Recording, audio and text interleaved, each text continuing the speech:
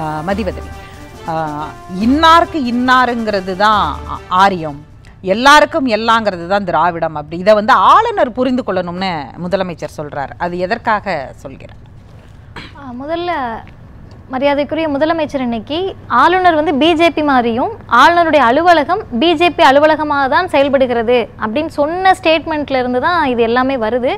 சொன்ன ஸ்டேட்மெண்ட் வந்து நூறு சதவீதம் உண்மை. சரி ஒரு முதலமைச்சர் இதை சொல்லலாமா அப்படின்றது தான் கேள்வி. அதுக்கடுத்து தான் ஆரியம் திராவிடம்ன்ற பிரச்சனையே. எதற்காக முதல்வர் இதை சொல்லலாமா நம்ம கேட்க முடியாது. முதல்வர்கள் தான் உண்மைன்னு எப்படி ஆ முதல்வர்கள் அதை கேட்கலாம்ன்றதுக்கான பிரசிடென்ஸ் நம்ம கிட்ட இருக்கு பிஜேபி அவர்களுடைய பிரசிடென்ஸே நமக்கு இருக்கு. ரெண்டாயிரத்தி பதினொன்றில் குஜராத்தினுடைய முதலமைச்சராக நம்முடைய மரியாதைக்குரிய பிரதமர் மோடி அவர்கள் இருந்தப்ப அன்றைக்கு இருந்த மரியாதைக்குரிய ஆளுநர் கம்லா அவர்களை பார்த்து இது வந்து ராஜ்பவன் அல்ல Congress Bhavan Raj Bhavan was converted into Congress Bhavan. நீங்கள் ஒரு பேரலல் கவர்மெண்ட் நடத்துறீங்களா? ஒரு மாநில அரசு செயல்பட விட மாட்டீங்களா?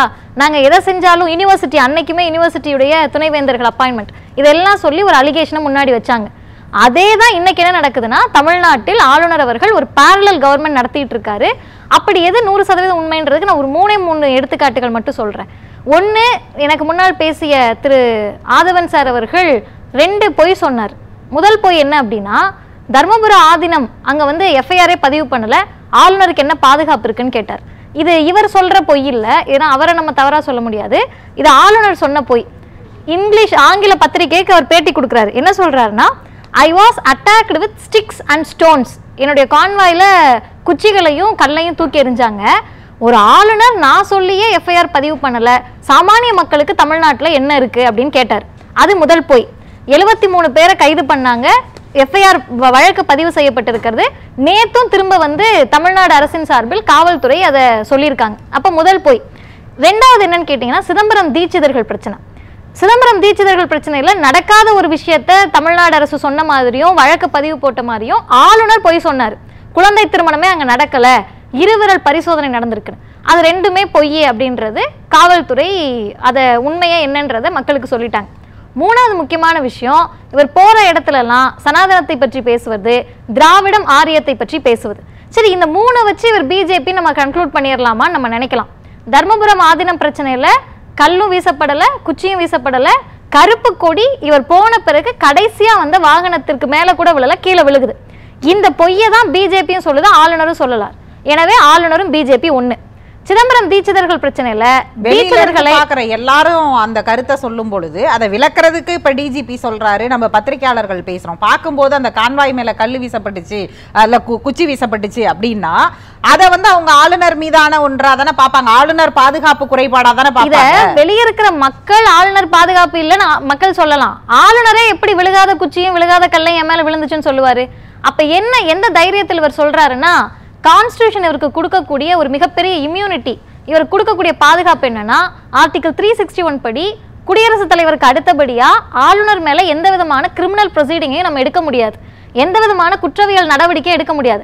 அந்த தைரியத்தில் தான் குற்றவாளிகளுக்கு சப்போர்ட்டா சிதம்பரம் தீட்சிதர்கள் என்ற குற்றவாளிகளுக்கு ஆதரவாக இருப்பது ஒரு கிரிமினல் குற்றம்.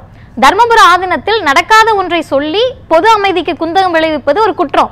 இப்ப கடைசியாக ஆளுநர் நீங்க சொன்ன இந்த இன்சிடென்ட்லாம் இருக்குல்ல இது எல்லாமே ஆளுநர் நேரடியா சம்பந்தப்பட்ட விஷயங்கள். அவர் சொன்ன ஸ்டேட்மெண்ட் அவர் சொன்ன பேட்டி. இதை வைத்து எப்படி ஒரு கட்சியோட நம்ம ஒப்பிடுறது? ஏன் பாஜகவோட அதை ஒப்பிட ஏன் ஒப்பிடுறோம்னா பிஜேபியினுடைய அஜெண்டான்றதே பொது அமைதிக்கு குந்தகம் விளைவிப்பது தான் ஒரு அரசை வந்து டைரக்டா அவங்க எப்படி டார்கெட் பண்ணுவாங்கன்னா சட்ட ஒழுங்கு. எதை எடுத்தீங்கனாலும் சட்ட ஒழுங்கு வந்து சீர்குலைந்துருச்சு. சட்ட ஒழுங்கு வந்து தமிழ்நாடு பி டிஎம்கே கவர்மெண்ட்ல சரியில்லை. இது யாருடைய ஸ்டேட்மெண்ட் பிஜேபி கவர்மெண்ட்டோட ஸ்டேட்மெண்ட் பிஜேபி உங்களுக்கு எதிர்கட்சியாக கூட கிடையாது. இன்னைக்கு தமிழ்நாட்டில் அவங்க கொஞ்சம் பேர் இருந்துட்டு இதை பேசுறாங்கன்னா இதே குரலை எப்படி ஒரு ஆளுநர் ஒழிக்க முடியும்? ஆளுநர் முத யாரு? இந்திய அரசமைப்பு சட்டப்படி ஆளுநர் யாரு? The state government is presided over by the governor தானே. இன்னைக்கு இருக்கக்கூடிய எக்ஸிகியூட்டிவ் பாடின்றா இங்க இருக்கக்கூடிய ஹெட் யாரு? கவர்னர் தானே. அப்போ ஒரு கவர்னர் என்பவர் அந்த மக்களுக்கானவர் இல்லையா? எப்ப பாரு இருபத்தி நாலு மணி நேரமும் அந்த மக்கள் தேர்ந்தெடுக்கப்பட்ட மக்களால் தேர்ந்தெடுக்கப்பட்ட ஒரு அரசை குற்றம் சுமத்தி அவர்களை வேலை செய்ய விடாமல் தடுப்பது என்பது பிஜேபியுடைய அஜெண்டா அப்ப பிஜேபியுடைய அஜெண்டாவை ஆளுநர் செய்கிற போது இத பிஜேபி அவர் பாட்டுக்கு அவர் டியூட்டியை பாக்குறாரு அவர் பேசுறாரு. இது வந்து வேலையை செய்யாம தடுக்கிற இடமா எந்த இடம் அவர் பாட்டு அவர் டியூட்டியை பார்க்கலன்றதுதான் பிரச்சனை. டியூட்டியை பார்க்கறாரு பார்க்கல ரெண்டு விஷயம் இருக்குல்ல. இதுவரை ஆளுநர் அவரோட டியூட்டி என்ன பார்த்திருக்காரு? நீட்டுக்கு எதிரான மசோதா சட்டமன்றத்தில் நிறைவேற்றப்படுகிறது. இவங்க திரும்ப திரும்ப டிஎம்கே ஏன் பண்ணல? டிஎம்கே ஏன் பண்ணல? இந்தியன் கான்ஸ்டியூஷன் படி ஒரு மாநில அரசு என்ன பண்ண முடியும்? சட்டத்தை அந்த மசோதாவை தாக்கல் செய்ய முடியும்.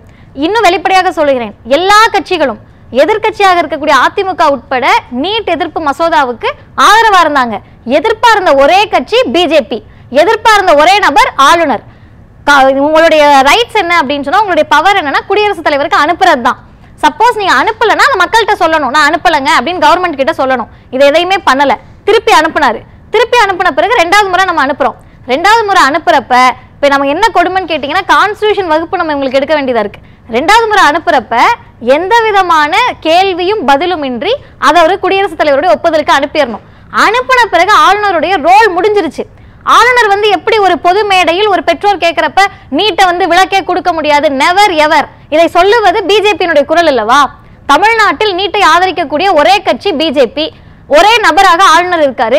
ஆளுநருக்கு எந்த இடத்தில் உரிமை இருக்கு? குடியரசுத் தலைவர் தானே அசன்ட் கொடுக்கணும். இவர் எப்படி நாங்க நீட்டுக்கு விளக்கே கொடுக்க முடியாது என்று சொல்லக்கூடிய குரல் பிஜேபியினுடைய குரல். இன்னும் மிக முக்கியமாக இவர் நடத்துறது இப்ப ரெண்டு நாள் மூணு நாளைக்கு முன்னாடி ஆளுநருடைய முதல்ல என்ன சொன்னாங்க? ஆளுநருடைய ட்விட் வந்துச்சு. ராஜ் இவங்க வந்து அவங்களுடைய முறைப்படியான ட்விட்ல என்ன சொன்னாங்கன்னா ஆளுநர் மாளிகைக்குள்ள விழுந்துச்சுனாங்க அப்புறம் என்ன சொன்னாங்க? அதுதான் நான் இப்ப ரெண்டு மூணு நாளா பேசின விஷயம் தான். ஆனா நான் அதை நான் அதை திரும்பி திரும்பி அதையே கொண்டு வர வேணாம்னு தான் கேக்குறேன். இவங்க என்ன கேக்குறாங்கன்னா ஆளுநர் மாளிகை முன்னாடி விழுந்தாலும் ஆளுநர் பாதுகாப்பு சம்பந்தப்பட்டது ஆளுநருக்கு. கொடுக்க வேண்டிய கூடுதல் சரியானது. என்ன சொல்றேன்னா இவங்க கேட்கறது நூறு சதவீதம் சரி. ஆளுநருக்கு பாதுகாப்பு இல்லைன்னு நீங்க பயப்படுறீங்க அக்கறையா இருக்கீங்க. இது எல்லாமே சரி. இப்ப நம்ம என்ன கேட்க வரோம்னா சாமானிய ஒரு மக்களாக இருக்கக்கூடியவர்கள் இந்த கேள்வி எல்லாம் பொய்யை பரப்பினால் அது பிரச்சனை இல்லை. சாமானிய மக்கள் பரப்புகிற போது. ஒரு மேன்மை பொருந்திய இவங்க சொல்றாங்கல்ல மேன்மை பொருந்திய மாண்புமை பொருந்திய அந்த ஆளுநர் எப்படி சொல்லலாம்? இதற்கு முன்னால் ஆளுநர்கள் தமிழ்நாட்டில் இருந்திருக்காங்கல்ல அவர்களுடைய வரலாறு இப்படி இருந்துச்சா? சென்னாரெட்டி அவர்கள் இருந்தபோது ஆளுநர் மாளிகை கேட் ஒன்னு நீங்க போய் சொன்னாங்கல்ல அந்த கேட் ஒன்லயே அன்றைக்கு இருந்த அதிமுக அரசுக்கும் இவங்களுக்கும் பிரச்சனையா இருக்கு. எம்எல்ஏ வந்து பல பேரோட போய் அந்த கேட்டையே தாண்டுறாரு. அந்த பிரச்சனைக்கு சென்னாரெட்டி அவர்கள் அவருடைய மேன்மையும் மாண்பையும் வைத்து என்ன சொன்னாருன்னா அரசியல் கட்சியில் இருப்பவர்கள் அப்படிதான் கோவப்படுவாங்க. இதை நீங்க பெருசுப்படுத்தாதீங்கன்னாரு. அவர் போகிற போது அவர் வாகனத்தை வழிமறிக்கிறாங்க. அப்ப அதை பெருசுப்படுத்தாதீங்கன்னாரு. எதுக்காக? மாநிலத்தினுடைய சட்ட ஒழுங்கை பாதுகாக்கக்கூடிய கடமை முதல்வருக்கு மட்டும் இல்ல ஆளுநருக்கும் இருக்கு. அதை புரிந்து கொண்டு அன்றைக்கு ஆளுநர்கள் மேன்மை பொருந்தியவர்களாக இருந்தார்கள். இந்த ஆளுநர் மேன்மை பொருந்தியவர் அல்ல. எனவே இவர் பிஜேபி தான் அப்படின்னு முதல்வர் சொல்றார்.